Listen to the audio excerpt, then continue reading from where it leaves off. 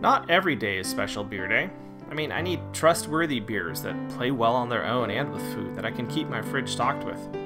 There's a few beer styles that make that regular list, and for each style, a few brands that have earned their place.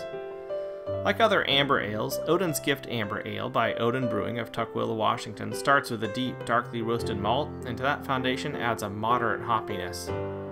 While I enjoy a lot of beers, those that allow the malts and the hops to work together harmoniously are easy favorites, and this is probably why I enjoy ambers. My wife, who is much less of a hop fan than I am, enjoys amber ales as well, as they pair very well with food, particularly food with strong flavors.